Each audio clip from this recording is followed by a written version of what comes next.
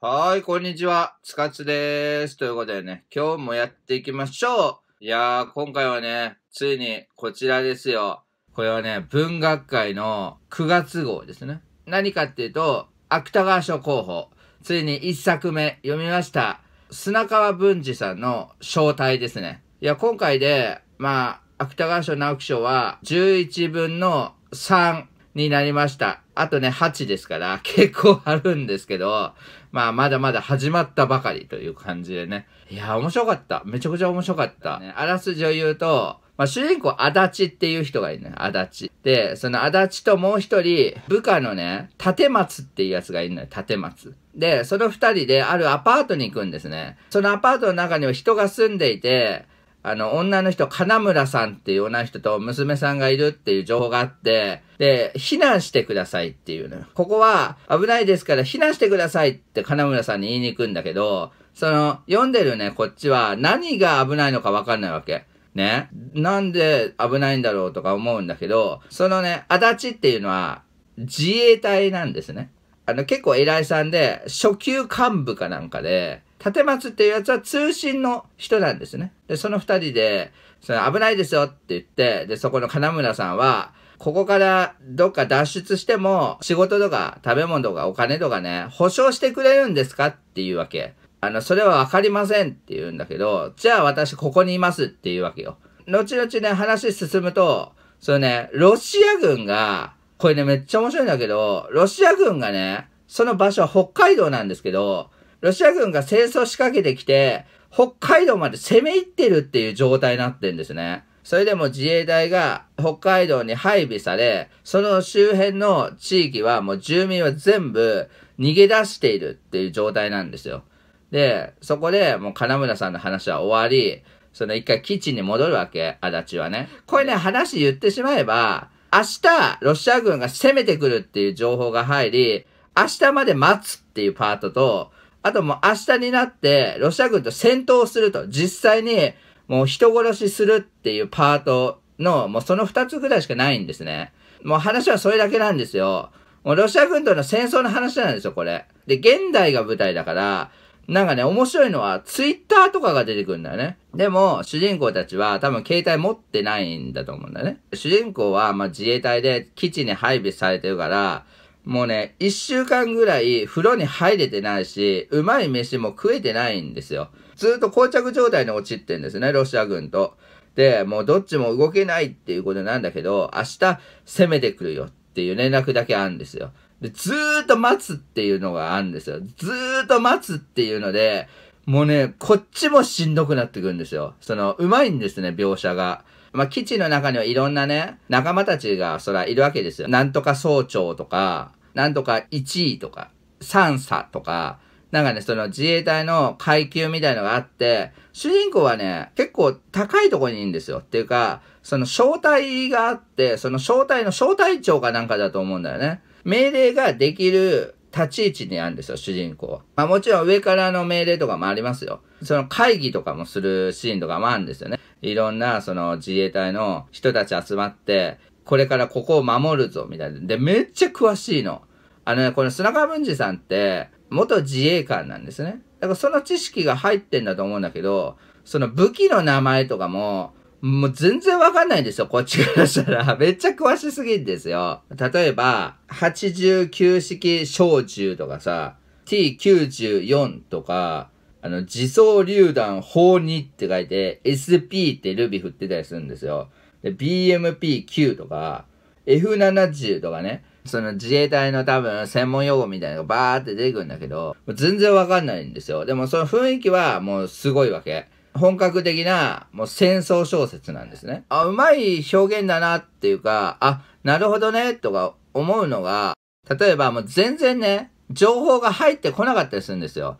で、もう情報のやつだとかがもう全部潰されてたりもするんですよ。もう戦闘になってたりとか。だから、その、ここには書いてるのは、もう情報が入ってこないっていうことはもうここが最前線なんだっていうことを言うんですね。自分たちの判断で動くしかないみたいなことになるんですよ。とか、あとね、時代の話っていうか、まあ、ロシアが北海道に攻めてきて、こっちは北海道にいるから、一応自分たちの領土でしょ、領土っていうか。で、そのなんかね、いくつか地雷を埋めてんですね。で、向こう戦車とかで来るから、戦車がね、もう地雷に当たって爆発するんですね。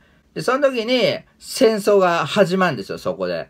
で、その戦車バーンってなって、戦車は潰れんだけど、その皇族の戦車とかもいるし、その歩兵隊みたいなのももちろんいるから、そっからもう打ち合いになるんですよ。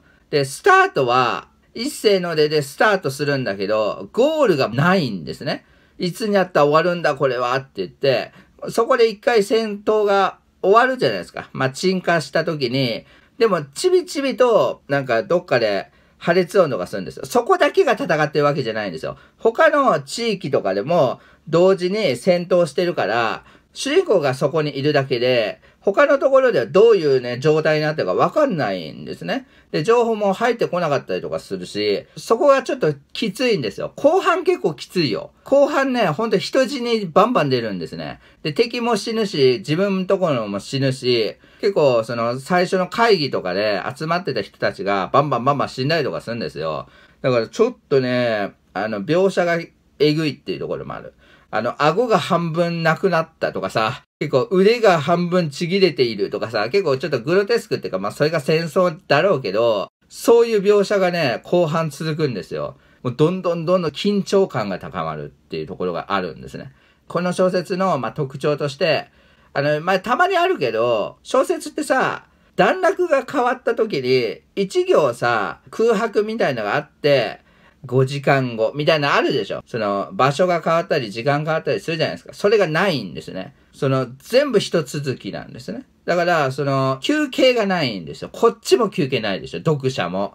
だからそれは主人公もそうだっていうことなんですよね。戦争に休憩なんかねえんだよ、みたいな、そういうメッセージでもあるでしょこの雑誌で50ページぐらいあるから、疲れてくるんですよ、こっちもね。で、そういう疲れっていうのももちろん、これ戦争の疲れですよ、そら。主人公の疲れでしょ。だそういうのが現れてる小説なんですよね。途中でなんかラジオかなんか聞くんだけど、北海道は攻められてるけど、他の地域は多分攻められてないんですね、日本は。で、そこでは普通の日常が繰り広げられてるんですね。ニュースとかでもちろん、北海道で戦闘が始まりましたみたいなニュースあるんだけど、普通にラジオとかもやってんですよ。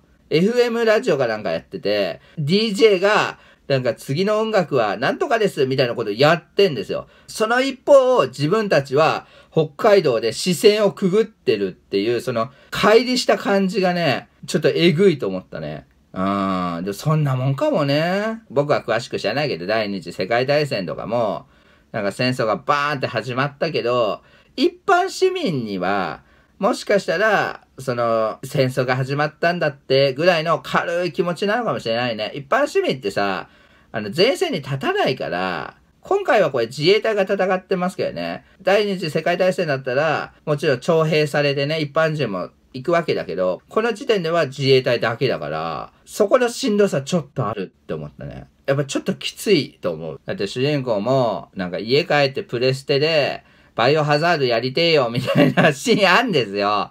その、そうだよな、とか思うじゃない？家でプレステでバイオハザードやってた方が楽だもんね。そら、うっていうぼやきがちょっとあったりとか。あの、もっと言いたいことあるんですよ。芥川賞の候補って僕めちゃくちゃ言いたいことあるんだけど、やっぱり最後に点数つけるとね、やっぱこれ80ね、7点ぐらいかなって思いますね。ここ難しいんだよね。この戦争小説の意味はめちゃくちゃあると思うんだよね。候補になったのはすごいと思った僕。この世の中ね、こういう戦争ものってあんま書かないでしょ。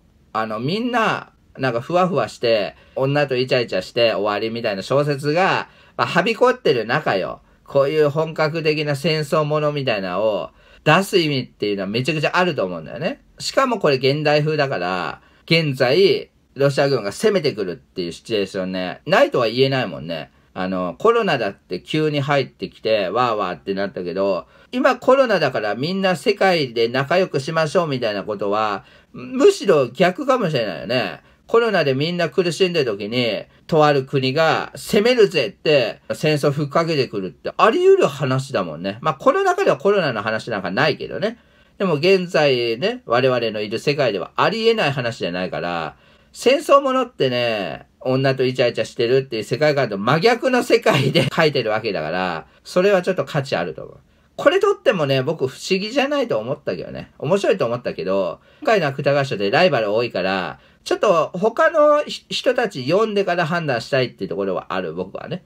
うん、まあそんなところですね。超面白かった。よかったね。まあそんな感じでね。まあ今回は終わりです。高評価、コメント、チャンネル登録、どうぞよろしくお願いします。ということで、つかちゃんでした。バイバイ。